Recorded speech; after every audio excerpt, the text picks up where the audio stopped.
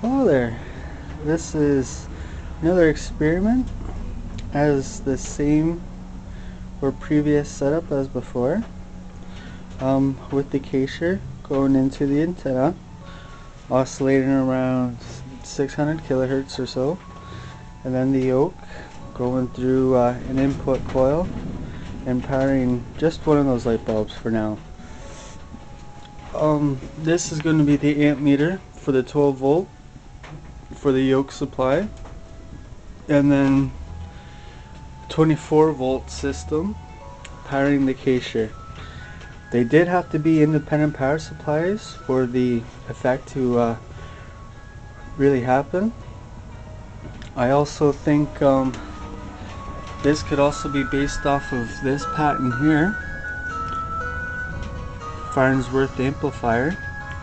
It uses a high frequency oscillator as well as a low frequency oscillator. And he calls this an electron multiplier for causing small space currents to liberate large currents and additional electrons. So it's very cool. We'll uh, be checking out the waves here and everything it could still also be based off of this here, parametrics, as we'll uh, I'll show you that here in a moment. But uh, here we'll just turn on the Kacher for now, and we can see even one of the light bulbs comes on. So that's the current draw at the moment.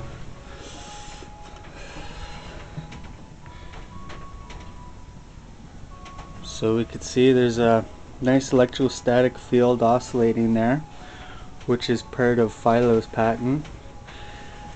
And now let's um, turn on the yoke. And that's with the yoke.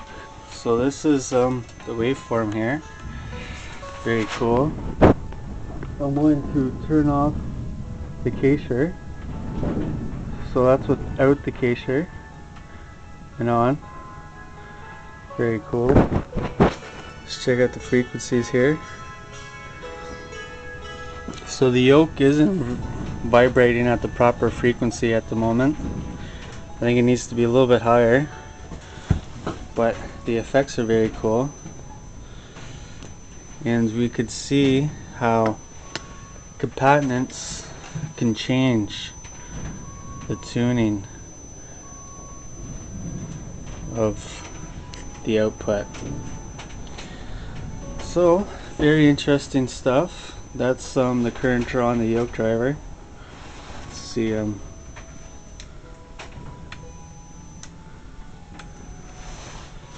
and then this is just the yoke here. And that's with the case here. So yeah, very interesting stuff. Alright. Thanks for watching. Bye.